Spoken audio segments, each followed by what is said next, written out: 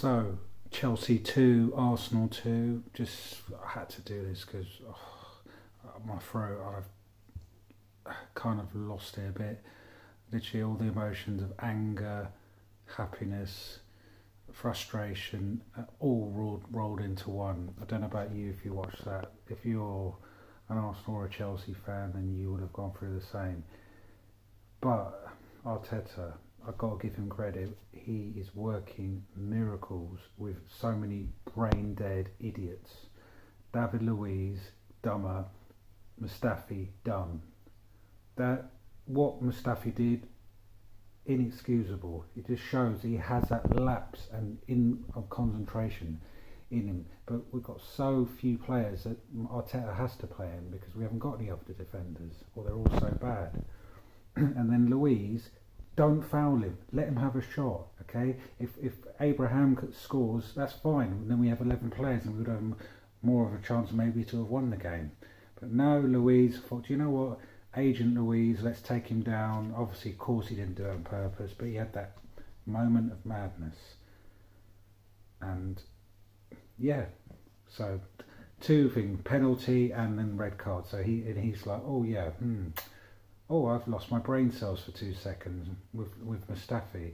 So all the memes going around of Dumb and Dumber of those two, and that's it. And then the character to come back for um, that. First of all, obviously, let's talk about Martinelli.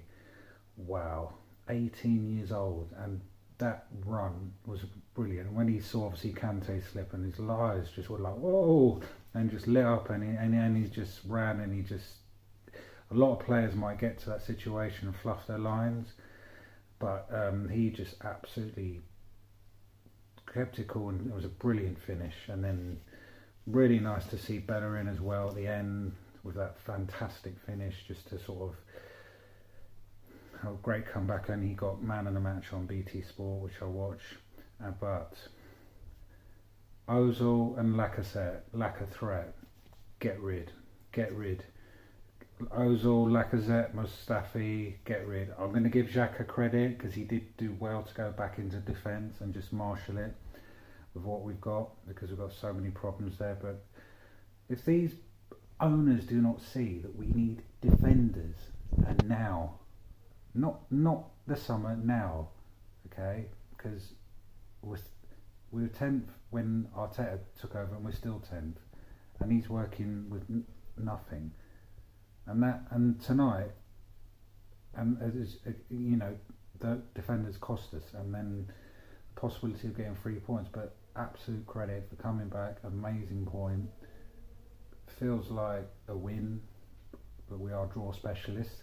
Twelve draws, and yeah, I'm just like, that's that's a good point considering the situation. But too many times this season, we've just had a bad point.